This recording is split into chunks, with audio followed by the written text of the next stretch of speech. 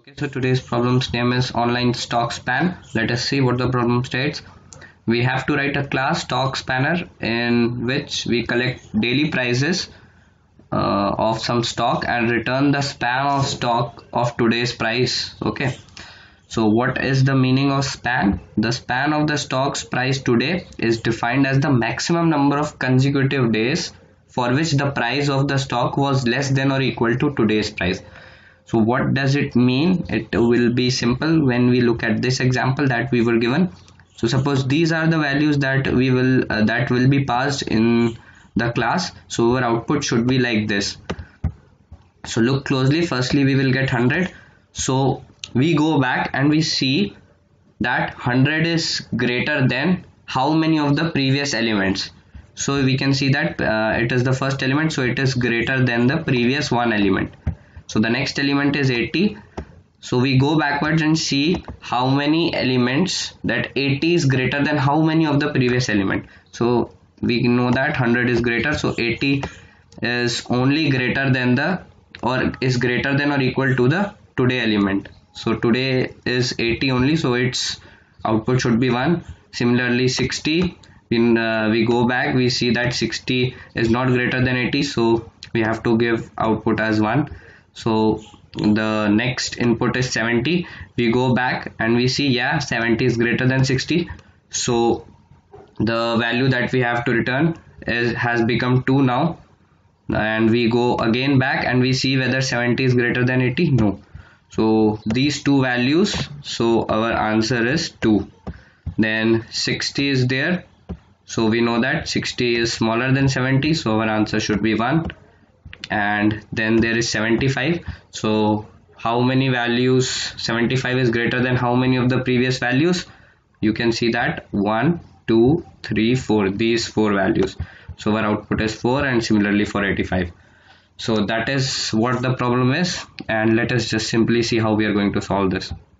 This is the uh, these are the given values that will be uh, passed on to our class and I will be doing it with the help of a stack. So this is the stack that will contain the array of integers and this is the result. We will be returning uh, result at every call.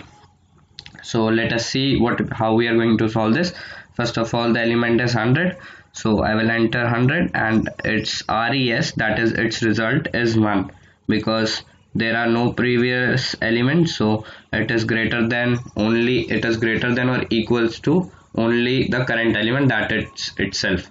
So we need to return this one and one will be returned here.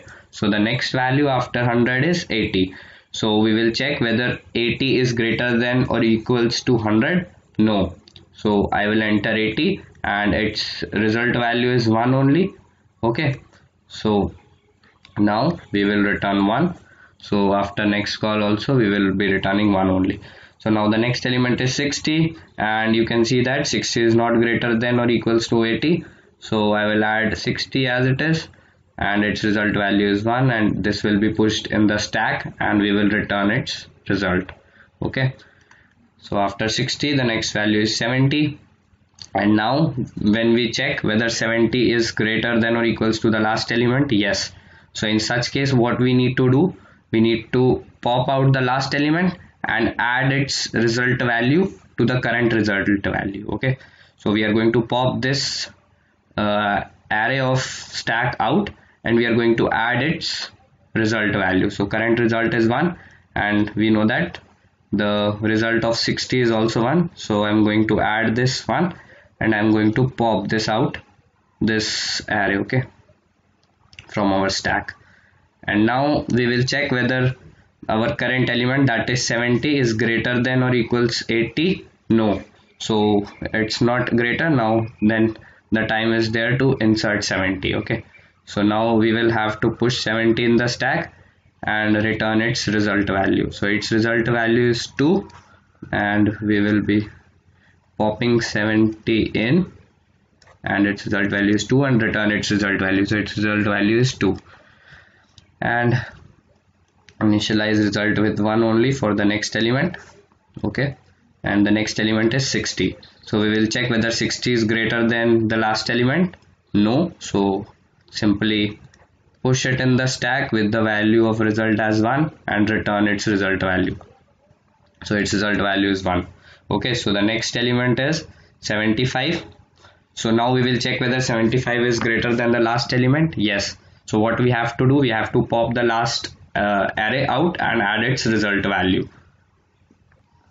So popping 60 out and we know that its result value is 1 so adding 1 to the current result and popping 60 out. Okay so 60 has been popped out. We will be checking the value of array and we will adding the we will be adding the result. So that is the purpose of adding an array that has two elements in the stack so we check from this value and we add this value. So we will check whether 75 is greater than 70 yeah. So pop it out and add its result to here. Its result value is 2 and we will pop 75 out uh, 70 out of our stack. So now we will check whether 75 is greater than 80 no. So it's time for 75 to be pushed. Its value is 4 so 75 and its result value is 4 and now return its result value. So its result value is 4 and after this we have to initialize our result value with 1 again. Okay. For the next element. And the next element is 85 so 85 is greater than this. So we have to pop it out and add its uh, result value in the current result value. Adding here 4 and popping it out similarly you can see that the next value is also less than our current element. So I have to pop this one also out and add its value 1 to our current result. So now we uh, know that 85 is less than 100 so time for 85 to be pushed and its result value is 6 so its result value is 6 and return its result. So its result is 6 so in this manner we can see that uh, we have returned all the values correctly. And in this way we are going to deal with this problem. So let's just jump on to the coding part now. Alright so let's just simply code it out. First of all I will be declaring a stack. And that will store as you know it will store array of integers.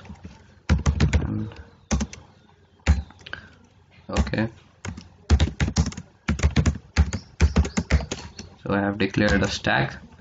And when our next function is called initially our result was 1 as you know and we were popping while the stack is not empty.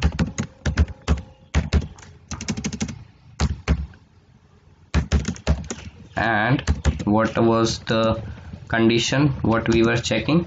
We were checking whether the last element is less than or not than the current element okay?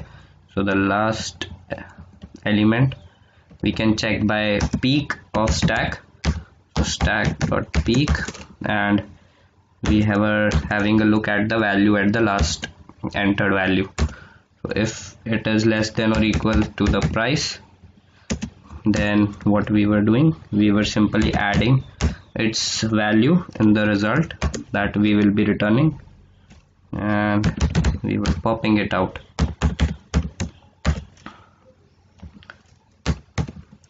Why I have written it uh, here 1 because we have taken our result at the index 1 and at index 0 it will be its value. So we have to return result only. And after that what we were doing we were pushing the current element.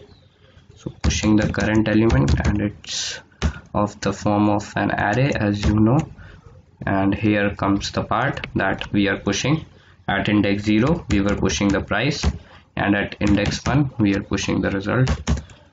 And after that I will simply return result. So I guess this will work. Let us see. Okay basic test cases are passed and accepted. So that was the problem and I'll see you in the next video